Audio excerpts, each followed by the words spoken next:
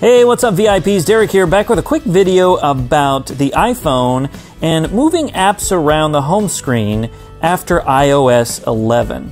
Now, before, and I think I did a video about this, before you could double tap and hold, and it would bring up the editing part, you know, so you could say, okay, I want to move this around.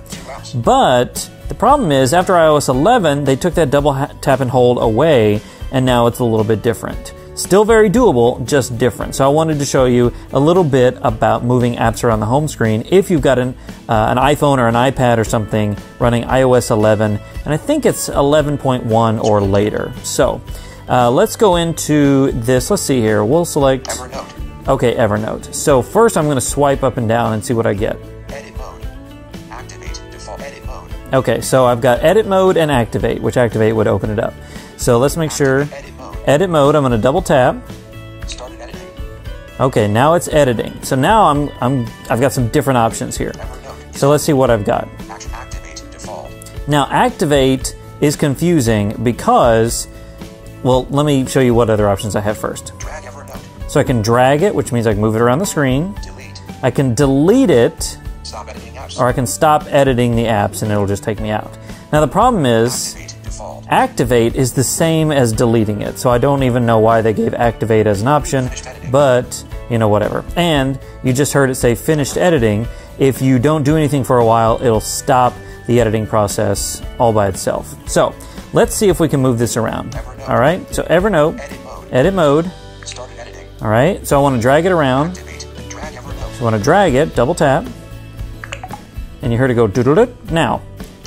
I've got a folder here. Let's put it after that folder. Let's see what happens. Stop editing apps. So I can stop. Add to drag session. I can add that folder to my drag session, which means I can move multiple apps. Drop Evernote before sleep folder. Drop ready. I can drop Evernote before the folder, which it already is. Drop Evernote after sleep folder. Drop ready. I can drop it after, so let's do that.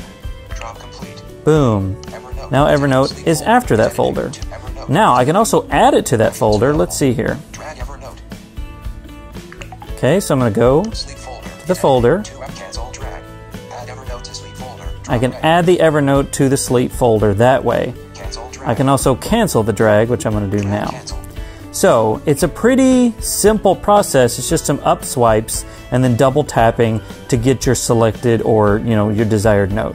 Um, whatever you want to do, you can do. Just make sure that you're swiping up and down, you know, and it's the same thing as before. So that's just a quick example of how to move apps around the home screen when you're using iOS 11. If you have any questions, leave them in the comments below, and I hope that this tutorial was helpful to you. Thanks for watching, guys. Make sure to give this video a big thumbs up if you like it, and subscribe to my channel so you can get more great tutorials just like this. My name is Derek Daniel, and until next time, remember, sight loss isn't the end, it's just the beginning. I'll see you guys in the next one.